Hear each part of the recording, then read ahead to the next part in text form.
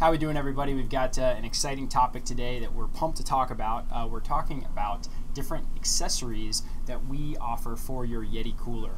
And right here we have a Yeti 35, but all the different parts that we're going to show fit on all the different Yeti models, and or we have a version that fits those. So let's look at the first one. Sure. Go ahead and get the cooler opened up here. So this one is a cooler top cutting board. So this is made out of King StarBoard. It's a cutting board material. You want to show how it sets on, Jared? Absolutely. So you can see it just kind of drops right on the top of the cooler.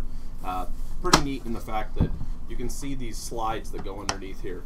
That helps capture the cooler lid, and as a part of that, you know, pretty easy installation, right? So you know, some of the unique things that, that we've talked about with this is that it doesn't really uh, interfere at all with your cooler. You're able to use a lot of the sim- the same stuff that you have. Go ahead, Sure. walk them through some Yeah, of that. yeah, yeah, absolutely. So just making sure you can see. So this is slotted, right? So these are these are just sliding in to lock in place. So obviously you pull them out, you set it on, and you slide this down in to lock over. So you know, th- there I've seen some other cutting boards that require either uh, you know using maybe the uh, the lock holes or uh, the tie down straps.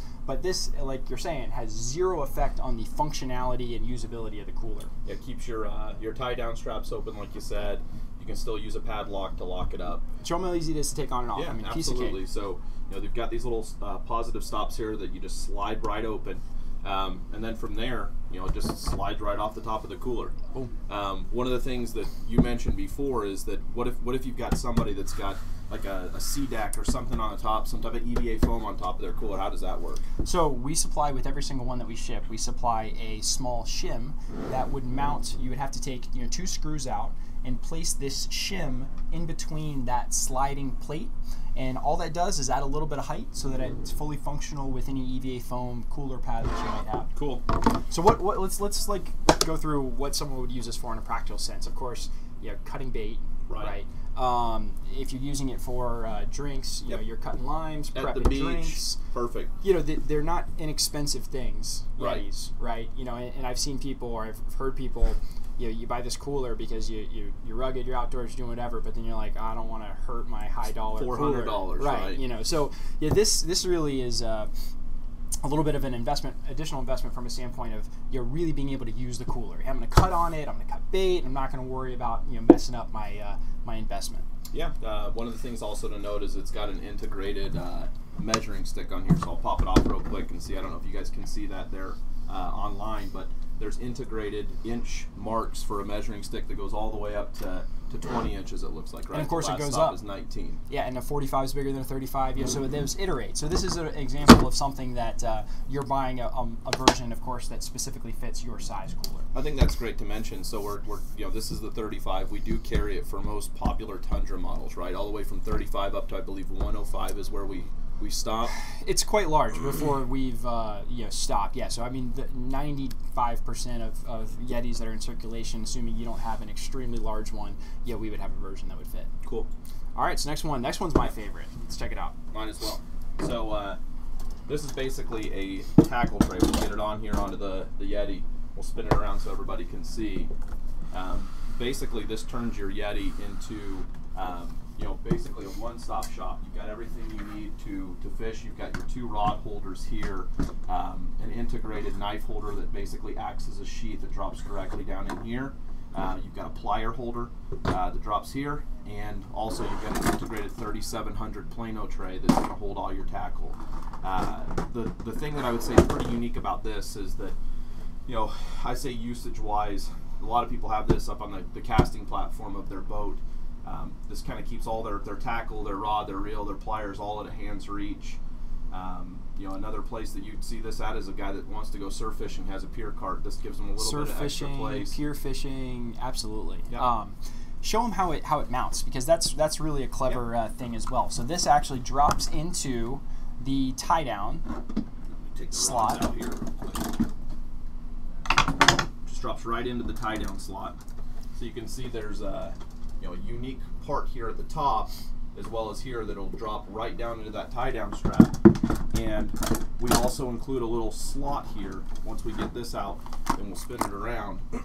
that you can see that it keeps your existing. We, we add an, another spot for you to have a, an existing tie down. So you can still use a tie down. You don't lose your tie. Well, you lose your tie down, but you gain a tie down, right? Right. So it's fully functional from a standpoint of using a tie down with. it. Yep.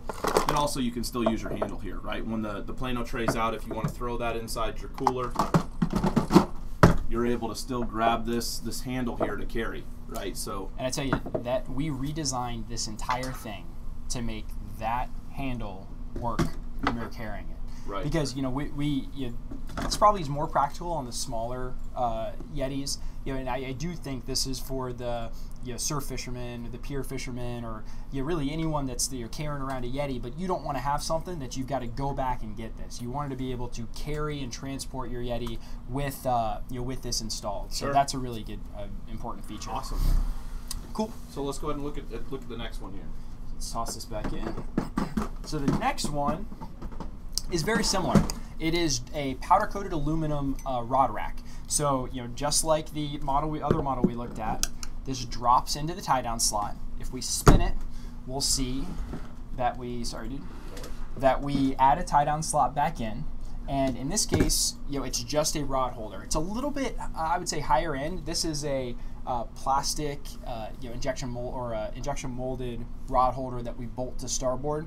This is powder coated aluminum, really high end. Looks like a nice finished part of the cooler. Right. Um, but but you know it's effectively the same thing, just without a Plano tray and a uh, knife holder and plier holder. I think it's a little bit less expensive. I think it's uh, thirty or forty dollars less than than this model, um, and probably a little bit nicer materials. So if all you need is some additional rod storage, you know this is a great option to uh, to consider. Cool. So I've got one other one that I don't have any sample of, but I want to switch to the website here real quick, and let's look at that.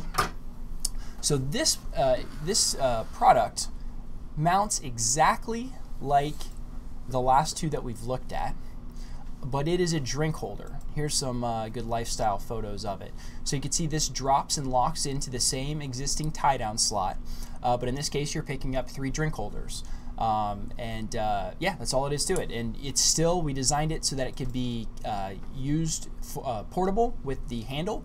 So you can see the handles, uh, you know, fits right up between. We notched the individual drink holders so that you can carry it down on the beach or wherever else you're using Perfect it. for tailgating, right? I mean, It is a cool tailgating part, absolutely. Um, and so let's just flip back and let's look at some lifestyle pictures of some of the parts we've been looking at here. Here's the uh, uh, fishing tackle unit. Again, you can see you got your uh, your rod holders, your knife, your pliers, really everything you need for surf fishing or pier fishing. And then here is the two rod holder, right? Ready to go. And of course, you've got your cooler top cutting boards, which we have different size options, all the way up to it looks like a 105. You're absolutely right, 105. Cool. So switching back here, we've got a couple more parts we want to look at. yeah, absolutely. And let's do that. Let's open them up. Yeah, so the first one uh, we wanted to go over here is, is basically a cooler web. This is a pretty cool part. Uh, we have a lot of the tackle web products on the on the site to store a lot of the fishing stuff. Um, this just with an adhesive strap, uh, which is Velcro, right? So you, you put the Velcro adhesive to the back of the cooler, the top of the cooler. And the unique thing about this is, you know, everybody hates the fact that you've got sandwiches or snacks, anything you want to keep dry up out of the cooler. There's really, you know, not much of an option for that. So this this keeps stuff up out of the water of the cooler. A really good option to add. Um, you know, I think it's a, a good part. Yeah, it's a great part and, and a very good seller. Uh, the next one is one of your babies. It's one of your favorite Yep, parts. so Why this is actually a, a really cool part. Um, this is a, a local couple here that were featured on Shark Tank. Um, this part was developed. It's called the Sub Safe. Keeps your sub up out of the water. You know their big thing is nobody likes a soggy sub when you're on the boat the whole day. Uh, this is a, a, a, a, a basically a three-part system, right? So this unscrews. You're able to put a, a 12-inch sub in here. Uh, if you've got a smaller sub, you're able to have the six-inch. So all of that comes together as one deal. And again, you know, your sub now can go in there in safety and sit in the cooler, and you're not going to get it wet throughout the day. Tupperware for your sub. Tupperware for your sub. Awesome. And the last one we want to show Yep. is uh, is pretty interesting. We actually want to get your take on this. We're not sure if it's a good part or not. We want some honest feedback. Let's set it down. We can leave this on. It's not a problem. So this is something we designed at our metal shop, somewhat on a whim. and you can see it mounts the same way. It drops in and locks just like uh, the other uh, you know side mount accessories. And the idea behind it is I have uh, you know a BOTE uh, paddleboard and BOTE sells a leaning post that drops in. It's designed for the BOTE model and i'll you know, use the yeti and i'll lean up against the, the BOTE uh, leaning post and it's you're really convenient. But there are a lot of different paddle boards that maybe don't have a, a leaning post that's you know ready to go uh, you know, specifically designed for that model. Right. So the idea was, you know, could we make a leaning post or a backrest that dropped onto? So this is now this is the one product that's specific to a Yeti 35. Although we could make something similar for other models, we haven't yet. Right. And you know, this is a new product that we don't really know if there's anything to it yet. It's kind of interesting. It's almost to some degree incomplete, in so much that you kind of feel like there maybe needs to be a backrest on the back of it. Um, but we really don't know if, if there's a market for that. Whether it be for, like we said, tailgating, right? I mean, nobody likes to sit and not have something on their back. So, you know, I initially designed for a paddle board, but you know, we, would like to get everyone's thoughts, see see what they think. Yeah, and you know, you go, okay, it's cool for tailgating, it's cool for pier fishing, but you also go, there's a lot of very inexpensive folding seats, right? So, are we Right. creating a solution that there's not really a problem for? One other interesting thing is, you know, a lot of people, of course, use their uh, coolers as a casting platform.